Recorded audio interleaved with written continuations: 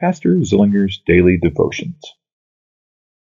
Psalm for today, Psalm 119, verses 169 through 176, form the Hebrew letter Tau uh, for the acrostic of the psalm. And this is the conclusion of Psalm 119, the very end of the Hebrew alphabet. Let my cry come before you, O Lord. Give me understanding according to your word. Let my plea come before you. Deliver me according to your word.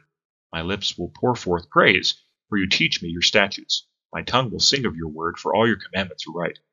Let your hand be ready to help me, for I have chosen your precepts.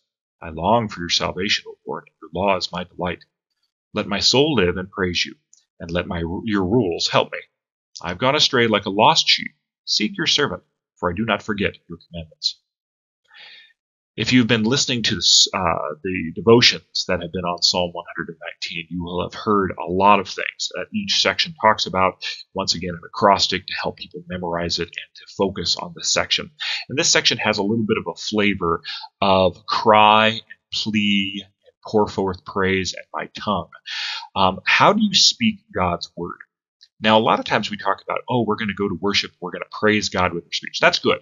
That, that is a good thing. Don't get me wrong. But do you speak God's word of command? Do you speak God's word of narrative? Do you speak God's word uh, not only of comfort, uh, but of, hey, this is what we're supposed to do of doctrine and of teaching? Um, a lot of times we like the fuzzy stuff, the praise of wow, God is mighty, or the comfort of, hey, he's come to save us, which we see kind of at the end of the psalm. But I always say to try to speak all of God's word, and maybe speaking God's word in its entirety is maybe a little better for us instead of just a devotional theology or just hitting one verse, like I do in the psalm, Psalm 119 here, is you read it all and you say, I want to speak God's word, the difficult parts and the good parts. I want to speak about Christ, not only to myself, but maybe to other people as well. That's a good reason to memorize God's word, to say, hey, I want to be able to speak it, have it always on my tongue for this. And then at the very end, uh, talks about, I've gone astray like a lost sheep, seek your servant. This whole psalm talked about how I love God's word, his law, his statutes, his commands, his precepts, all his different things. If you read it over and over, it's like, these are great. And then at the end, it says, you know, I failed. I haven't done what you have asked. I haven't done what it said. Even though I speak it, even though I know it, it's not done correctly, and I'm lost. I've been lost like a sheep. Lord, I need a shepherd. And that's really an illusion as you look through at the rest of the Psalms, and especially the Gospel, where Jesus Christ comes in and says, I'm your shepherd.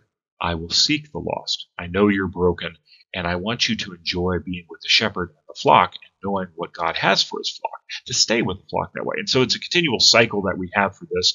Uh, Lord, help us not to forget your commandments. Uh, help us not to forget your promises and testimonies in Christ Jesus.